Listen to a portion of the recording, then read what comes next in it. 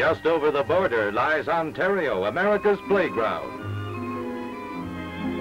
The sonorous thunder of Niagara Falls bids welcome good neighbor to almost 3 million visitors every year.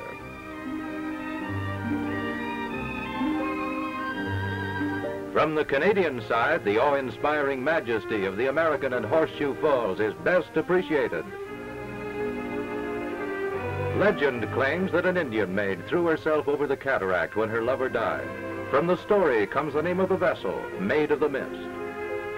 Leaving Niagara Park Gardens, part of the 38-mile strip of beautiful parklands bordering Niagara on the Canadian side, we commence our journey on the King's Highway.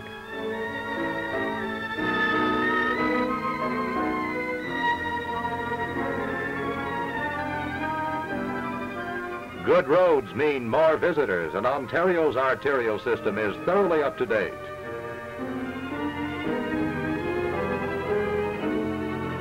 Well-equipped flying fields and regular airline service from all parts of the continent make the province easily accessible by air.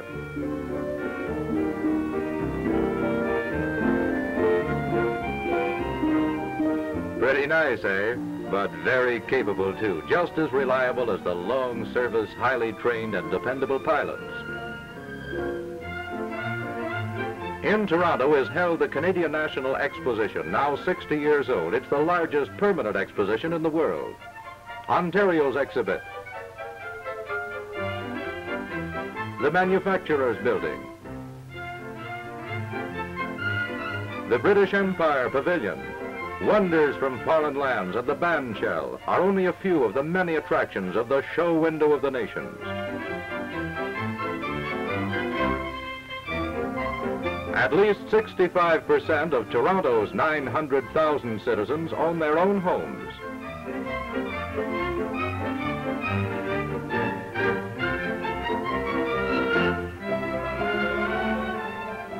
From the Toronto Yacht Club Basin, white wings glide over Lake Ontario.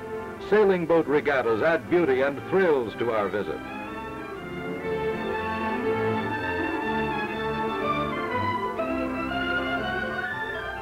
Beating up to the mark, rounding the marking buoy, and then with every stitch of canvas sending them home with a bone in their teeth, the yachts present a beautiful picture.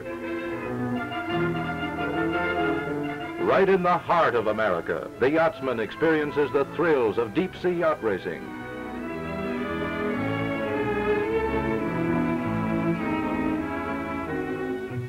At Brampton are the largest gardens under glass in the world.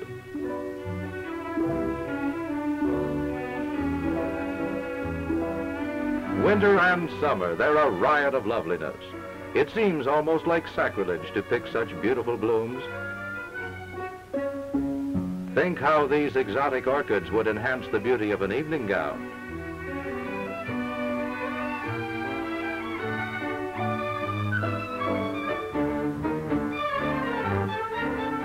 Canada's eaglets nest in modern, well-equipped barracks somewhere in Ontario.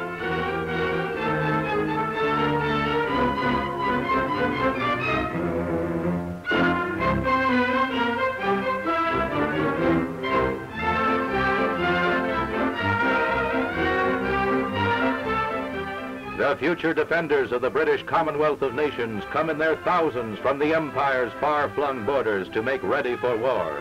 From Australia, New Zealand, India, Africa, Great Britain, and of course, Canada.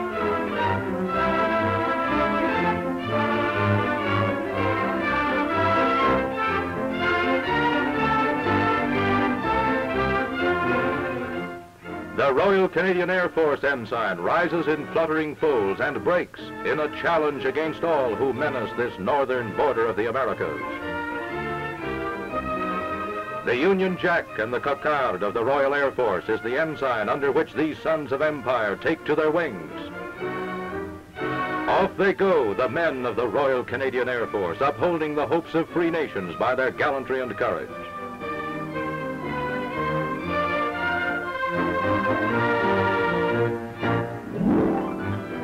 Now we're on the way to northern Ontario, a sportsman's paradise where huntsman and angler find a land simply teeming with game.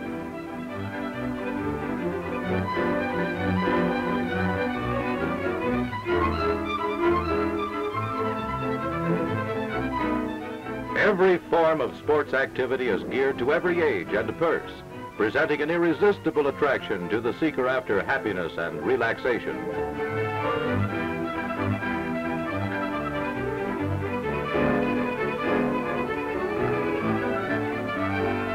The surging speed of youth, or the calm peacefulness of a land beautiful with the silences of nature.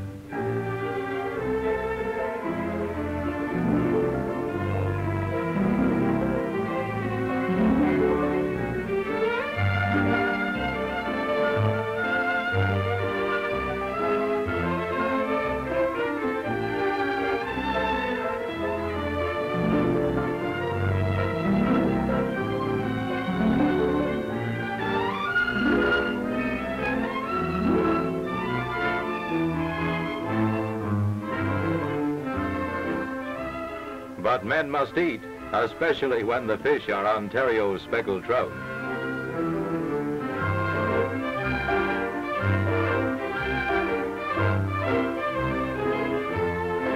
As the setting sun dapples the water with a glittering mantle of gold, the angler returns to camp.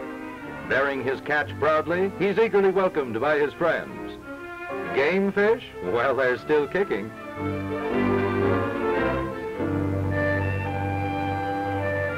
To make sure that there are no doubting Thomases, the angler measures the big one that didn't get away. Mingling with the smell of wood smoke, the trout are cooked at the campfire. Oh boy, oh boy, do they look good. Speckled trout, a healthy out-of-doors appetite, what more do you want?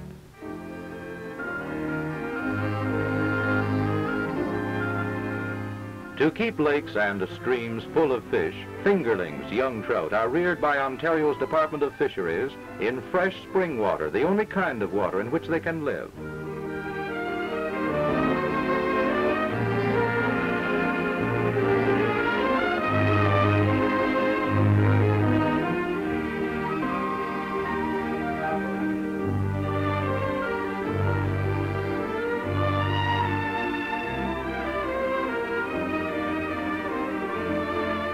Packed in containers and taken to hundreds of lakes, streams, and rivers, they are set free to grow up into fine fighting game fish, the sort of fish that give any angler a run for his money. No visit to Ontario is complete without a trip to the town of Callander near North Bay.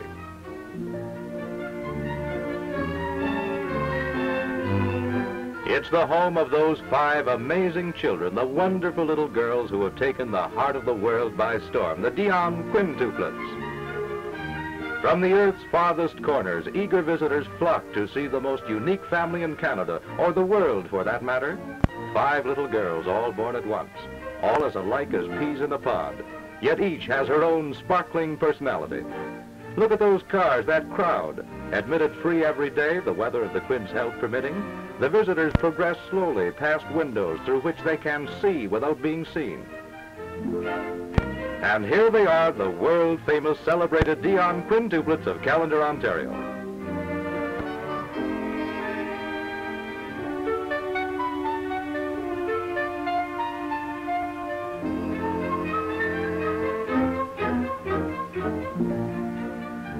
Oh, Yvonne, Yvonne, Yvonne, Yvonne, Marie. Hey, hey, Yvonne. Marie, where's Marie gone? Come on, sit down, sit down, sit down. Come on, we'll go back there. Their best friend is Dr. Allan Roy Dafoe, the country doctor who brought the Quints into the world and kept them in it.